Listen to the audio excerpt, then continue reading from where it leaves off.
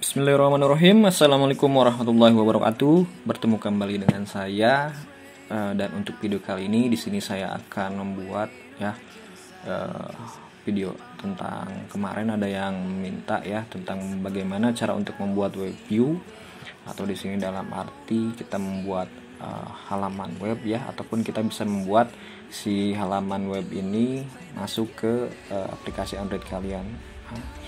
Oke langsung saja di sini. Sebetulnya saya di sini tidak akan membuat tutorial namun di sini saya akan share saja. Mudah-mudahan nanti bermanfaat untuk kalian dan saya juga di sini dapat informasi ini dari web yang lain ya. Di mana di sini pertama di sini saya akan memperlihatkan dulu ukuran ya. Ukuran dari uh, web yang akan saya buat. Yang pertama di sini kalau misalnya kita lihat untuk size atau ukuran di sini lebarnya 480 dan tingginya 800 ya. Kemudian di sini juga ada beberapa tombol yang sudah saya siapkan ya, yang sudah saya buat di mana di sini ada tombol close di mana di sini namanya saya berikan close underscore button ya BTN. Kemudian di sini ada reload ya, di sini BTN refresh sebetulnya bisa refresh ya, bisa reload boleh ya Kemudian di sini ada uh, next btn atau next button untuk selanjutnya dan di sini ada previews btn ya. Jangan lupa kalian memasukkan name di sini. Kemudian jika kita lihat di sini ada action ya, mungkin di sini karena saya tidak namakan, kita ganti saja layarnya menjadi action. Di sini kalau misalkan kita lihat action, klik kanan action. Di sini ada beberapa action script ya mungkin kalian juga kalau misalkan yang paham bisa mempelajari ya di sini di mana di sini ada beberapa action yang digunakan walaupun saya juga sebetulnya kurang paham ya di sini. Kemudian di sini mungkin yang saya paham di sini yang pertama di sini kita akan membuat uh, stack view ya di mana di sini ukurannya sudah ditentukan. Dan ini disesuaikan dengan uh, stage kalian ya. Kalau misalnya kalian membuat ukuran yang lebih besar maka ukuran stage yang ada di sini Nah, yang di sini ini harus sama dengan yang ada di sini. Oke.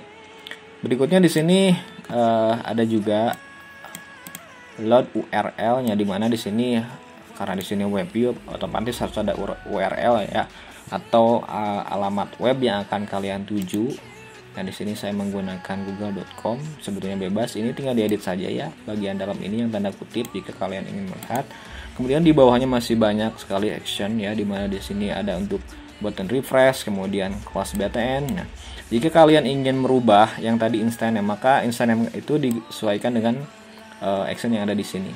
Ya, kalau misalnya kalian ingin menggunakan action ini tanpa mengubah si action ini, cuma mengubah link yang ininya saja, berarti untuk instant name yang ada pada tombol yang tadi saya perlihatkan itu harus disesuaikan dengan yang punya saya ya. Jadi jangan dirubah seperti ini exit button refresh kemudian instant on next button dan previous ya caranya mudah. Kalau misalkan kalian tinggal copy sebetulnya mudah sekali. Tinggal kalian ganti saja di sini uh, alamat linknya. Kemudian kalian tekan tinggal di sini pilih R for Android jika kalian ingin membuat untuk Android ya. Kemudian tekan Ctrl Enter. Seperti biasa untuk mengetes ya kita tunggu sampai proses loading selesai pastikan ada internetnya dan insya Allah jika internetnya bagus nanti si alamat web akan muncul di sini. Seperti itu ya. Nah di sini langsung muncul uh, Google karena tadi yang saya tuju uh, adalah google.com jadi otomatis di sini masuk ya google.com ya.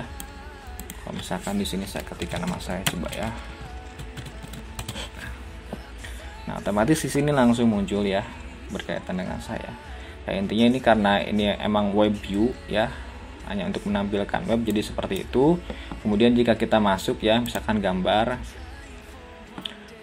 Kemudian saya previous ya atau kembali. Nah kita cek lagi ya. Kemudian kita next kembali lagi ke yang tadi. Kemudian di sini reload.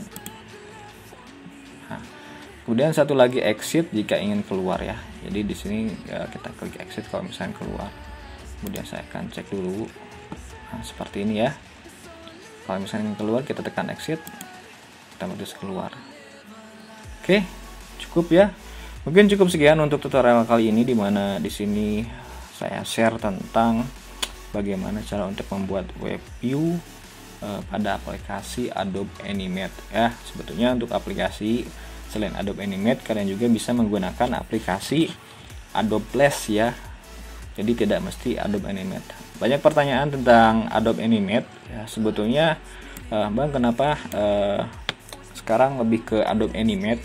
Ya sebetulnya sama saja dengan Adobe Flash, cuma di sini untuk Adobe Animate dia lebih fokus ke ActionScript 3 ya. Jadi bagi kalian yang menggunakan Adobe Flash CS 6 itu masih bisa ya. Jadi tidak mesti menggunakan Adobe Animate. Mungkin cukup sekian untuk tutorial kali ini. Semoga bermanfaat. Assalamualaikum warahmatullahi wabarakatuh.